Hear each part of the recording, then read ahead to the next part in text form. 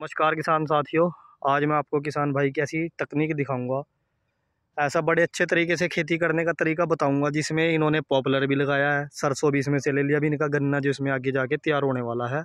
और गन्ने की बुआई भी पहले कर दी गई थी तो किसान साथियों, इसके अंदर आप देख सकते हैं, चार फीट की दूरी पर गन्ने की बुआई की गई है। इसमें किसान साथियों, अक्टूबर की महीने में गन्ने की बुआई की गई थी, और उसके साथ साथ इसमें सरसों बीज दी गई थी।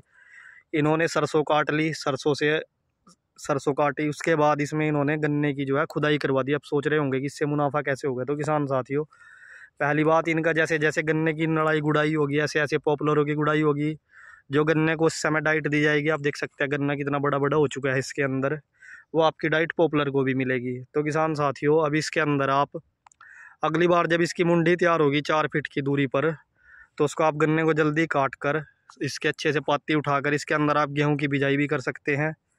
जिससे आपको दोहरा तिहरा मुनाफा होगा और आपके पॉपुलर जो हैं बड़ी अच्छे तरीके से तैयार भी होंगे। तो किसान साथियों, अब इसमें सोचने वाली, हैरत वाली बात क्या है? तो किसान साथियों, जैसे कि हम गन्ने की मुंडी तैयार करते हैं तो उसके अंदर हम कोई और फ़सल नहीं ले पाते जो हम कम दूरी पर गन्ने की बिजाई करते हैं। अगर चार फीट की दूरी पर हम गन्ना बोएँगे, बिजाई करेंगे, इससे पहले इन्होंने सरसों काट ली, गन्ना काट लिया उसके गन्ने के बाद उसका मुंडा काटेंगे उसके साथ साथ इसमें गेहूँ की कटाई हो जाएगी और हमारा मुंडा भी तैयार हो जाएगा और साथ साथ ही पॉपुलर तैयार हो जाएँगे। किसान साथियों, ये तकनीक है दोहरा तीहरा लाभ लेने की, जिसके अंदर आप अच्छे कमाई के लिए लकड़ी को भी तैयार कर सकते हैं।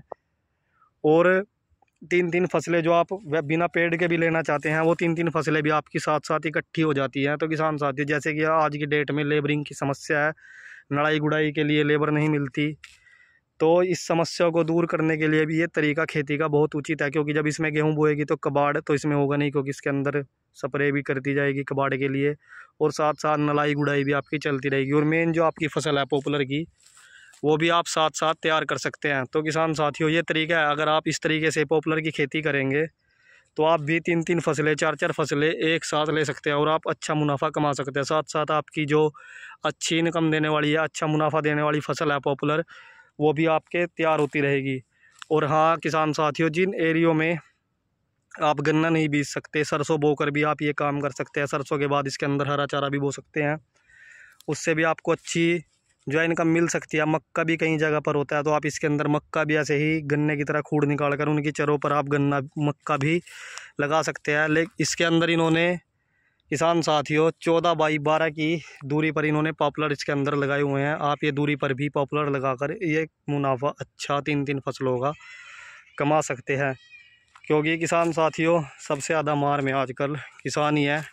तो इसलिए खेत से अगर आप छोटी काश्तकार है, छोटी ज़मींदार है तो आप भी ये तरीका अपनाकर अच्छा मुनाफा ले सकते हैं। जैसे कि इन किसान भाइयों ने लिया हुआ है। तो किसान साथियों, आज की वीडियो आपको कैसी लगी, मुझे कमेंट करके ज़रूर बताएँ। धन्यवाद।